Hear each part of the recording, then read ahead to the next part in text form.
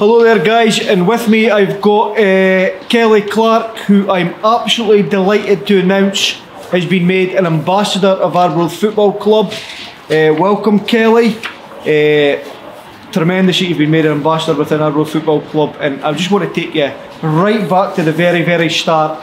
How did it all start for you in the beginning? Uh, I started just going to watch my dad play football. He played for FC Porto years and years back. They used to play at uh, kicking a ball about at the side of the park, and that was it. I started a, a football team, uh, Inchcape Strollers, when I was seven, I think, six or seven. A few of us, my, my next door neighbour, started at the same time. We all Uh-huh. kicked the ball about together a lot of the time, um, and it, it went from there. Uh, obviously, I went up with Arbroath Inchcape Strollers for as long as I could. Um, quite fortunate for my age to have never played for a boys team. Uh, so unusual for someone my age. You know, the, the the town had a girls team. Ah. Um, a lot of people my age played with boys because there wasn't no girls teams in their area at that point in time. Um, but I played with our Arbroath for as long as I could and got to the point where they, they didn't they didn't have a, an older team that I could join and made the, the natural move to it Forfar. Yes, right. And I believe, doing a wee bit of research on you during the week there, that it was very difficult for you getting the Inverbrothock school team.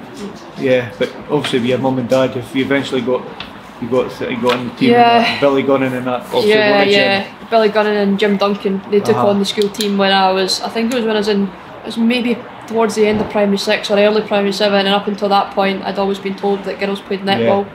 Um, s- similar story to though a lot of girls my age never played uh, or, or had to play for a boys team. Um, so yeah, they came in and said, "Well, we'll come in, but Kelly's going to play." Because I used to kick, kick a ball about with, Uh-huh. with their sons. They were both in my, my class at school. Um, and that was that. I was allowed to play football for the for the school. We obviously got to the Watters Cup final, scored in, in Now, the goal over there. now, now, I've done also done a little bit of research this afternoon. I was speaking to Kevin Tyndall, who was Oh, just sitting in front of me this morning, and he said it was a 5 0 victory against Friockheim, was that correct? I thought it was seven. Oh no, well, Kevin says 5, but he was telling me five.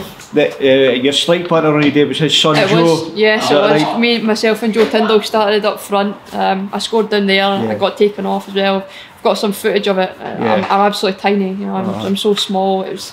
I didn't feel that small at the time, but at that point in time, girls, we obviously move up to 11 aside a bit later than the boys. yeah. So I think they'd all just started playing 11 side. I'd never played on 11 Uh-huh. side park before the Watters Cup. Um, but yeah, I, I remember scoring a goal that day, and the year the year before I'd been told I wasn't allowed to play. um, Amazing. And a year later, I was Amazing scoring a goal in the final. It was amazing. So after all that, you, you've moved up to Forfar, Forfar Farmington. How did it go up there? Surprisingly quick. I went up and signed for the under 17s. Um, And how old were you at that time, Kelly? I was 15. I was 15 and I signed for the under 17s because again, in women's football, it's there's two year gap. So you're Uh-huh. under 15s, your next move is an under 17s team. So you always play for two years. And after the the deal was, I would go through. I would train with our women's team to get that exposure Yes. to female or women's football, um, adults football, and after a short time, one of their centre backs got injured, quite a bad injury. Uh, she was playing for Scotland over in Holland. She picked up a an ACL injury, and I was drafted into the first team. I'd That been was it. training with them. I'd been training pretty well. Um, but yeah, I went up at the age of fifteen, played my first game, and got kept in. that was it. That was it. Women's football from the age of fifteen for me, which was was massive. You know, it's I'm forever grateful to Forfar for exposing me to it at such a young age Yeah. because it, it really develops you as We've got a great history with the girls. yeah, yeah. Um, it really develops you as a player, just playing against bigger, better, faster players from Yeah. such a young age and playing with good good people as well. You know, they, they were very patient with me and they brought me Brilliant, on yeah. massively. Then, then you got the big move to Celtic. How did that all come about? Um, by this point, I'd moved down to Stirling for university. Uh, it was really hard to travel back up to Forfar three times a week. We trained pretty late, so I was getting back to Stirling midnight three times a week, Yeah. which was really it was it was really really tolling. So Celtic came in. They'd come in for me a few years prior to Okay. that. Um, Okay. I was still living in Arbroath, dying to go. My mum and dad kind of wind my neck in a bit. It wasn't possible. I was still at school. Yeah, We yeah. trained away down in Glasgow, so they came back in. Um, a couple of other teams as well, but there was something about Celtic that drew me there. Yeah. Um, had friends that played for them at the time as well, which always helped. Yeah. And That from national setups and that. Yeah. yeah, and I was at when I was at Stirling Uni, I was on a sort of scholarship with the SFA. Uh-huh. So a few of the girls that I lived with played for Celtic as well. Brilliant. And, and yeah, that was it. I went, I went to Celtic. And how old were you when you went to Celtic, Kelly? I was 18. Good. 18, You've been there a few years now, eh? Uh, nine years in January. Is it, is Nine years in? January, yeah, Unbelievable. so- I've got uh, I've got a few notes written down here. Uh, sorry, uh, you're currently just jumping forward a wee bit here. Yeah. You're currently third in the league behind Rangers and Glasgow City. Uh, in the top two finish, and you get the Champions League qualification now. I believe you played in the Champions League.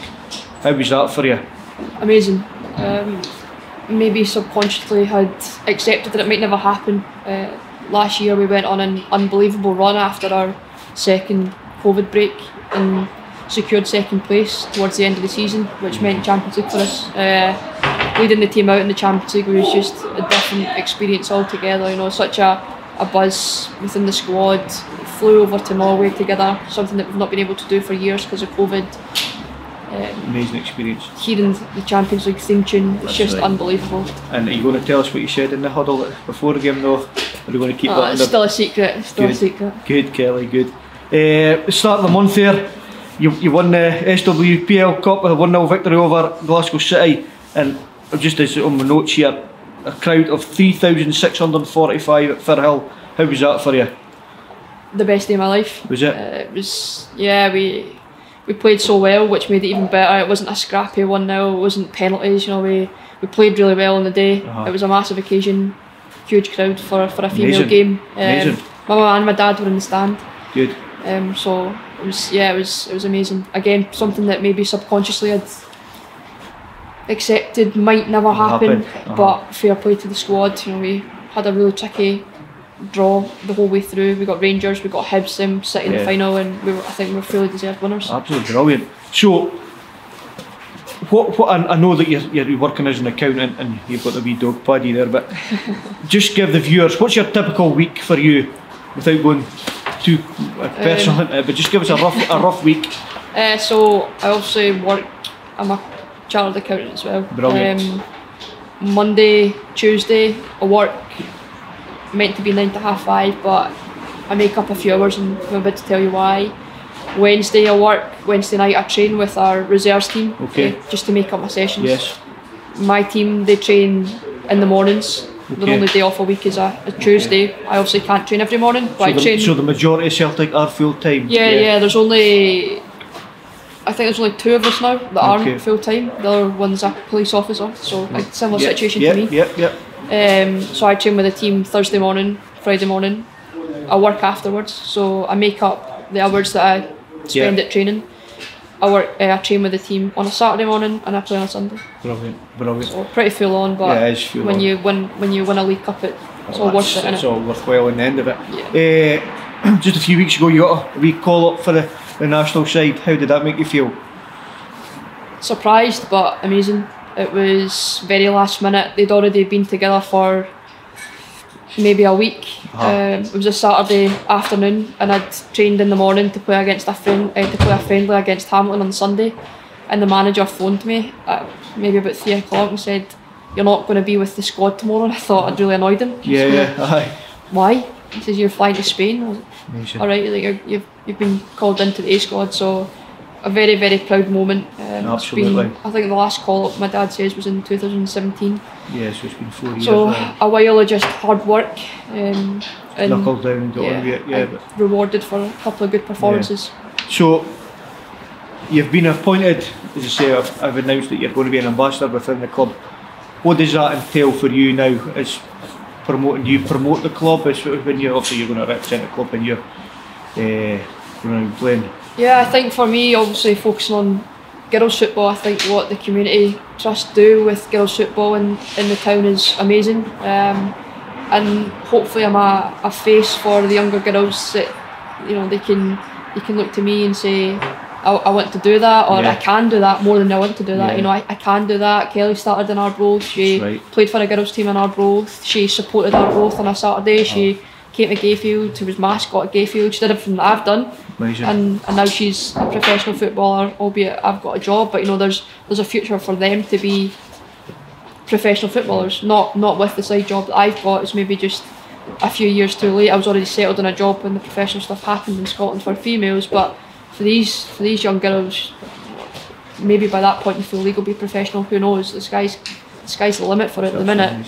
So it's, it's just really you know putting a putting a face there for these for these young girls that Amazing. That just shows them if, if football is what they want to do, then now it's something that they can do. Great words, great words. Now, a little Dicky Bird told me you had a budgie when you were younger. Would you want to tell the viewers what the budgie was called? Yeah, the budgie was called Lichtie. I know it was Um, called that. named by I it was probably named by myself and my brother. Um, like I said, we were season ticket holders all of our all of our youth, and my dad got us a budgie. It might have been for Christmas one year. Amazing. I'm not sure. I don't actually think it was. He got my gran a budgie. Um, but yeah, it was he was called Lichtie. He was the best best budgie. He used to land on your shoulder and that. But so. Brilliant. Now, I actually know your dad, and I know how proud he is of you. Uh, and I just want to say, everyone at Argo is very proud of you, and thank you very much for the interview. Well, thank you, and I'm very proud to be a club ambassador. Well done, thank you. Thank you.